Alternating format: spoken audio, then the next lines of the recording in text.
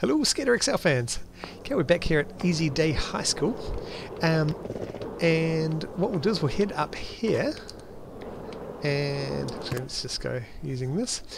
Um, so what we'll do is we'll um, do a manual down here, then a flip trick over this little ledge and land on this little bank here. Then come down here and hit this rail and just stop down the bottom. So there'll be a couple of kind of levels of difficulty. First will be um, just doing a flip trick over, hitting the bank, then hitting the rail.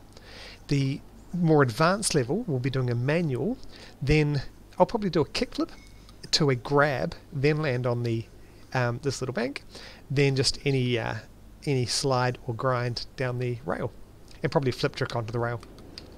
So we'll start with just the the easier version. So um, just any any trick over here.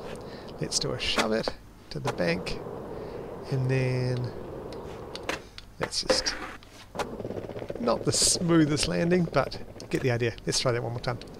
So let's do a shove it. Whoa. I think two pushes feels about right and just a small pop into the bank.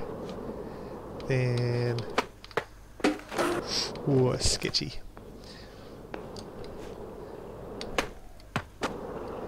And can even do a grab off the rail.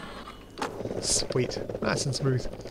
And then the more advanced version can be manual.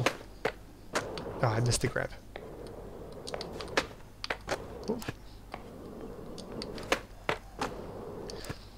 Maybe I'll not do a kickflip and do it.